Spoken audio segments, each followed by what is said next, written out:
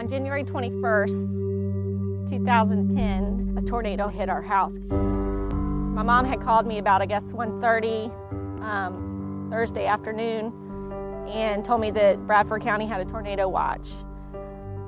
Um, about a minute later, I had hung up the phone and we had lost power to our house. And within a minute, I could hear the tornado coming to our house. You know, I'm at work and receive a phone call through the 911 text dispatch system that it wasn't even anybody speaking to me, but it was just my wife's voice and sheer panic. Um, I knew something terrible had just happened. So I grabbed my three year old and headed upstairs to get my twin boys out of their cribs. And by the time I got up there, the tornado had already hit.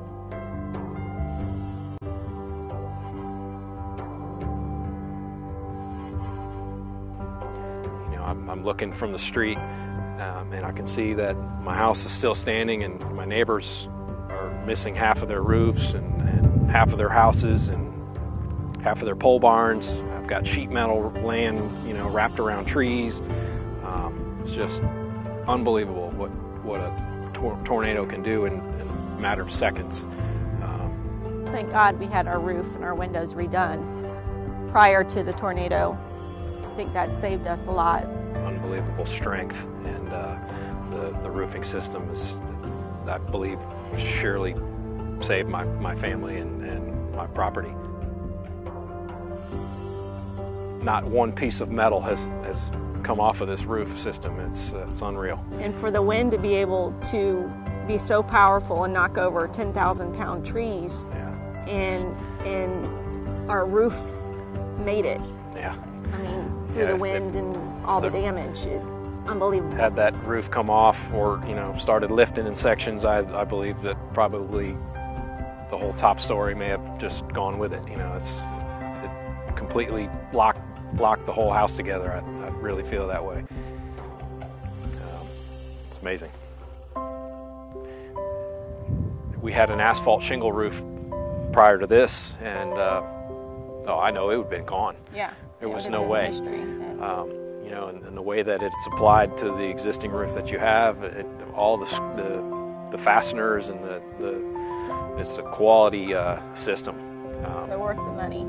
You know, and you investment. The, what's the saying? Uh, you get what you pay for. You know, and I had a few people come and, and look at what I had and give me estimates, and uh, man, I'm you know glad I went for a quality installation. Things like this, belongings and property can be replaced, but you know, Your family, family, there's you can't replace that. Uh, thank thank God, I still have my family really scared me. You know, you, you always see warnings on TV and you know tornadoes and coming here. You know, you, you take it for granted. And, oh, it'll never come. And it'll never come. And just within seconds, it's that quick. It's here and gone. Have a quality roof put on your house because uh, I still have a home to come home to now. And a family. And a family. Yeah. after, after knowing my family was safe. And as I said, I couldn't get down the driveway, but I could see from the road, I could see the whole house, and I could see the, the roof was still here. Um, I mean, I can't tell you how relieved and and impressed at the same time. I just I was so thankful that I had this metal roof put on. Um, you know, I, I like the look of the of a metal roof, and being it was a log home, it just to me, it, I wanted that done, but um, I never really uh, realized how strong and resistant to the wind that it could be. I mean, after seeing all the damage, I just, I just was, I was extremely relieved that uh, it was all there, every bit of it.